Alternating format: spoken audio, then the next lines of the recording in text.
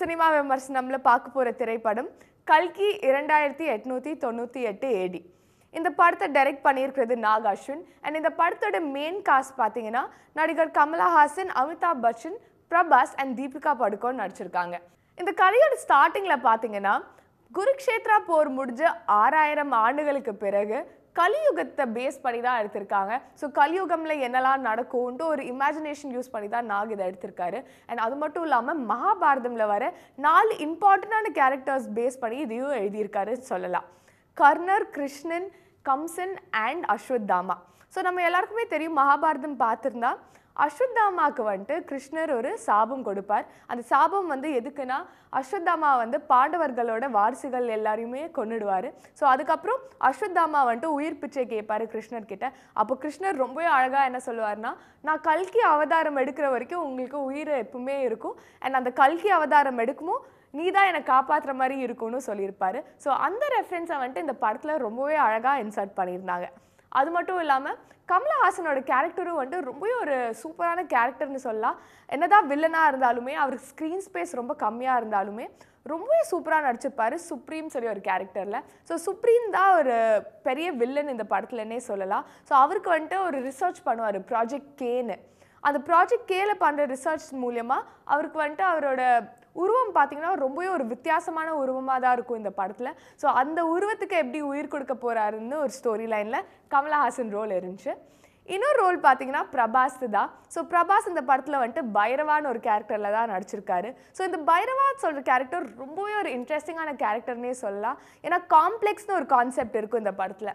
அந்த காம்ப்ளெக்ஸ்குள்ளே வந்துட்டு போகணும்னா ஒரு ஒன் மில்லியன் யூனிட்கள்னு சொல்லி ஒரு டிஜிட்டல் டிரான்சாக்ஷன் கரன்சி இருந்தால் தான் போக முடியும். ஸோ அந்த காம்ப்ளெக்ஸ்குள்ளே போக பிரபாஸ் என்னெல்லாம் அட்டகாசம் பண்ணுறாருன்னு தான் இன்னொரு சைடில் வந்துட்டு பார்ப்போம்.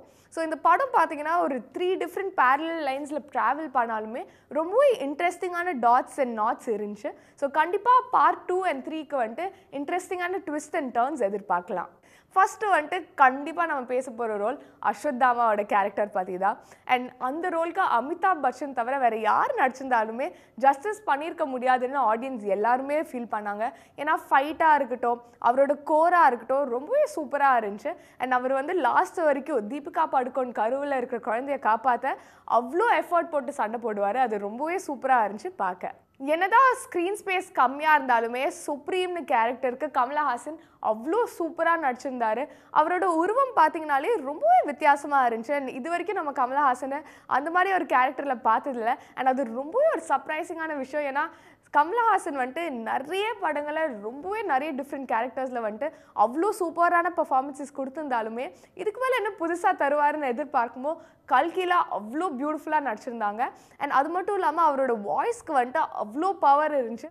நம்ம அடுத்ததாக பார்க்க போகிற ரோல் தீபிகா படுகோனோட சுமதி கேரக்டர் பற்றி தான். ஸோ இவங்க கேரக்டர் வந்துட்டு ரொம்பவே ஒரு இன்ட்ரெஸ்டிங்கான கேரக்டர் ஏன்னா இவங்க தான் க்ரக்ஸ் ஆஃப் த மூவினே சொல்லலாம். ஏன்னா இவங்க வயிற்றில் வந்துட்டு வளர்கிற கரு தான் கல்கி அவதாரமாக எடுக்க போகிற கடவுள்னு எல்லாருமே நம்புவாங்க இந்த படத்தில். ஸோ அவங்க உயிரை காப்பாற்ற வந்துட்டு எல்லாருமே லாஸ்ட் வரைக்கும் போராடுவாங்க. அண்ட் எண்ட் ஆஃப் த மூவியில் வந்துட்டு நிறைய சஸ்பென்ஸோட தான் முடிச்சிருக்காங்க. பார்ட் டூ அண்ட் த்ரீக்கு அது மட்டும் இல்லாமல் இந்த படத்தில் நிறையவே பெரிய பெரிய ஸ்டார்ஸ் வந்துட்டு கேமியோ ரோல்ஸ்லாம் பண்ணியிருக்காங்க. ஷோபனாவாக இருக்கட்டும் பசுபதியாக இருக்கட்டும் விஜய் தேவர் கொண்டா மிருனால் தாக்கூர்னு நிறைய பேர் சொல்லிகிட்டே போகலாம் அண்ட் மலையாளம் இண்டஸ்ட்ரியிலேருந்து கூட ஆக்டர்ஸ்லாம் இருந்தாங்க. ஸோ கண்டிப்பாக வந்துட்டு ஒரு பேன் இண்டியன் மூவின்னு சொல்லுவோம். எல்லா பேன் இண்டியன் ஸ்டார்ஸையும் வந்துட்டு இன்வால்வ் பண்ணது ரொம்பவே ஒரு சூப்பரான ஒரு விஷயம். இவ்வளோ இன்ட்ரெஸ்டிங்கான பிளாட்டுக்கு காரணமே டைரக்டர் நாக் அஸ்வின் தான். அவரோட இமேஜினேட்டிவ் வேர்ல்ட் அவ்வளோ சூப்பராக இருக்குது ஏன்னா நம்ம எல்லாருக்குமே தெரியும் ஹாலிவுட்டில் மார்வல் டிசின்னு மல்டிவர்ஸ் கான்செப்ட்ஸ்லாம் நிறையவே பார்த்து என்ஜாய் பண்ணியிருக்கோம். ஸோ இந்தியன் சினிமாவில் கல்கி த மல்டிவர்ஸ் கான்செப்ட் வந்துட்டு அவர் தான் இன்ட்ரடியூஸ் பண்ணியிருக்காரு. அண்ட் அது மட்டும் இல்லை அவர் வந்துட்டு ஸ்டோரி லைனில் போட்டிருக்க எஃபர்ட்ஸாக இருக்கட்டும் டைரெக்ஷனில் ஒரு ஒரு ஸ்க்ரீனாக இருக்கட்டும் ரொம்பவே எல்லாரும் என்ஜாய் பண்ணி பார்த்தாங்க. இந்த படத்தோட music director Santhosh Narayanan. And நீங்கள் எதிர்பார்த்த அளவுக்கு எவ்வளோ பிரம்மாண்டமான படமும் மியூசிக்கும் அவ்வளோ பிரம்மாண்டமாக வந்துட்டு ஸ்கோர் பண்ணியிருக்காரு சந்தோஷ் நாராயணன். கண்டிப்பாக நம்ம கிராஃபிக்ஸ் பற்றி பேசாமல் இருக்க முடியாது. ஏன்னா ஹாலிவுட் ரேஞ்சுக்கு இருந்துச்சு இந்த கிராஃபிக்ஸ் எல்லாமே. படம் பார்க்கும்போது ஒரு விஷுவல் ட்ரீட்டாக தான் இருந்துச்சு. குழந்தைங்கள் முதல் எல்லா அடல்ட்ஸ் வரைக்கும் எல்லாருமே ரொம்பவும் என்ஜாய் பண்ணி இந்த படத்தை பார்த்தாங்க. அண்ட் கண்டிப்பாக இந்தியன் சினிமாவில் வந்துட்டு ஒரு ஹிஸ்டாரிக்கான மூவியாக தான் இது இருக்க போகுது. ஏன்னா அவ்வளோ எஃபர்ட் போட்டிருக்காங்க இந்த படத்துக்கு. அண்ட் இந்த படத்தோட பார்ட் டூவாக இருக்கட்டும் ஃப்யூச்சர் வெர்ஷன்ஸ் ஆஃப் த மூவியாக இருக்கட்டும் ஆல்ரெடி ஒரு பெரிய லெவல் எதிர்பார்ப்பு இருக்குது இந்தியன் சினிமா ஆடியன்ஸ் கிட்டேருந்து அண்ட் கண்டிப்பாக இந்த படம் வந்துட்டு ஒரு தியேட்டர் வாட்ச் தான். இதே மாதிரி இன்னொரு படத்தோட விமர்சனத்தோட நான் உங்களை சந்திக்கும் வரை it's bye from Akshata Das. உடனுக்குடன் செய்திகளை தெரிந்து கொள்ள சன் நியூஸ் பெல் ஐக்கான கிளிக் பண்ணுங்க.